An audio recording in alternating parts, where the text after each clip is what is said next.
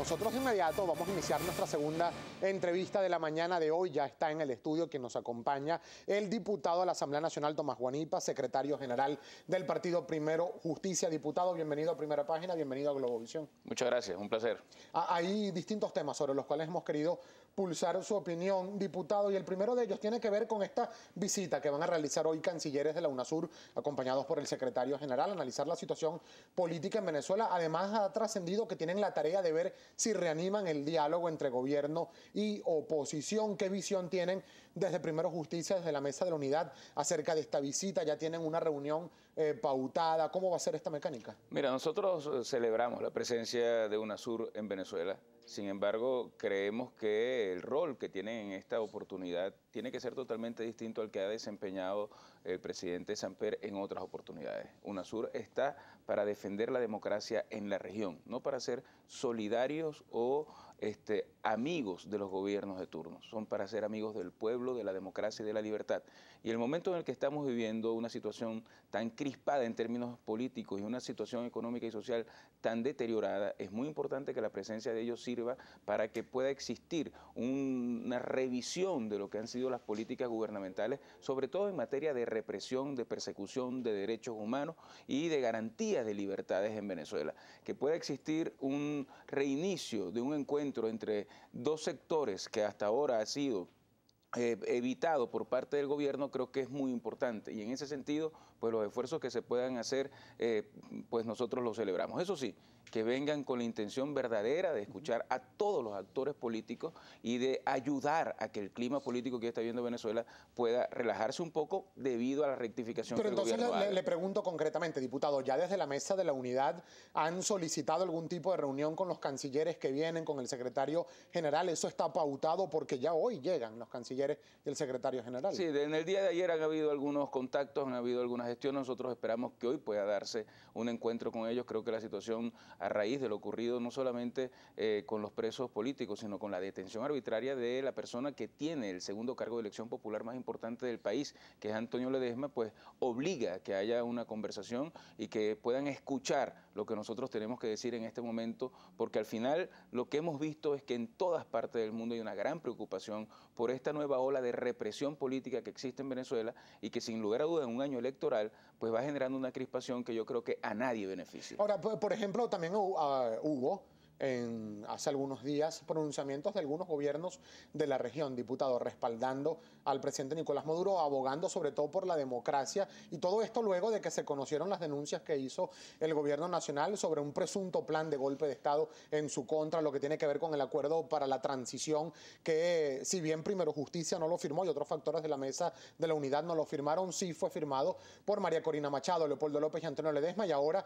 por el partido COPEI que lo asumió y otras individualidades eh, venezolanas que se han sumado. Pero eh, ¿cómo está este, este argumento, esta mesa servida para discutir con la UNASUR cuando hay también quejas de gobiernos de la región sobre algunas actuaciones? Bueno, la verdad que son muy pocos los gobiernos que se han, este, se han pronunciado a favor de lo que está ocurriendo en Venezuela.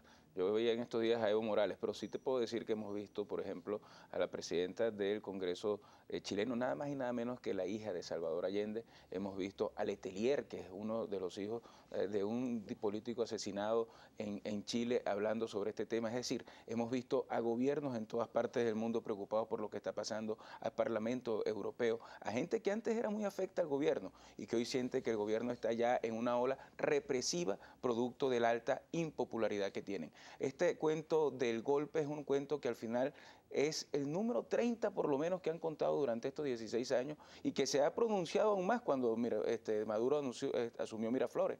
Y no solamente eso, sino también los magnicidios, que terminan siendo un tema que va generando zozobra en el país, pero que de la cual nunca se tiene certidumbre.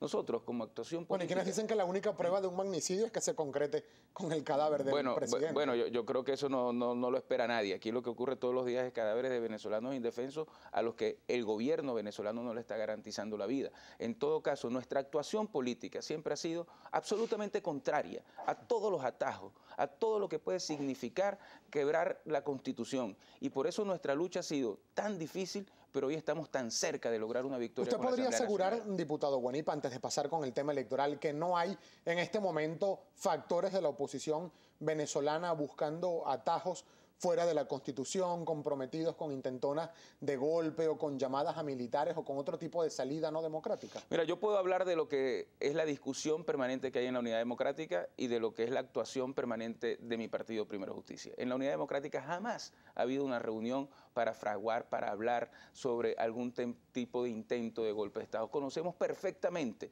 que eso es lo peor que puede ocurrir en Venezuela porque nosotros lo que queremos son salidas electorales y queremos salidas electorales para poder derrotar democráticamente a un gobierno que cada día es más autoritario. Y ahí hemos tenido una, una, trayectoria que no muchas veces es acompañada por algunos sectores que quieren un cambio, pero que ven al país de una visión muchísimo más radical que la que podemos ver nosotros. Cuando hubo eh, abstención parlamentaria en el año 2005, Primero Justicia hasta llegó a dividirse por ese tema y planteamos que era un error participar cuando hubo el paro indefinido, internamente advertimos que ese era un error que le iba a costar mucho al país y que iba a atornillar al gobierno. En definitiva, siempre hemos dicho que las salidas, las búsquedas de atajos lo que hacen es fortalecer al gobierno. Y nosotros sí queremos un cambio de gobierno, nosotros queremos un cambio de modelo, nosotros queremos un país mucho más democrático y para eso tenemos que promover la participación de la gente y construir una gran mayoría. Primero Justicia no firma, y tenemos que irnos a la pausa, pero rápidamente, Primero Justicia no firma este acuerdo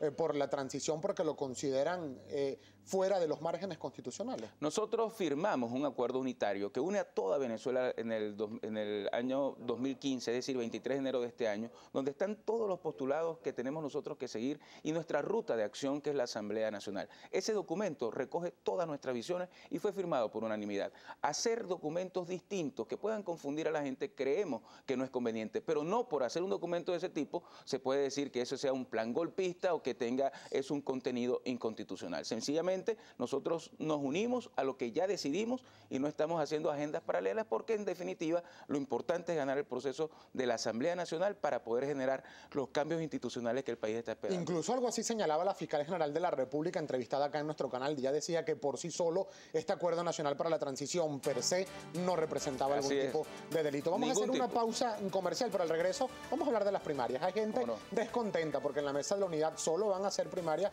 en 38 de las 87 circunscripciones. Al regreso, por favor, sus comentarios. Ya venimos con mucho más de primera página.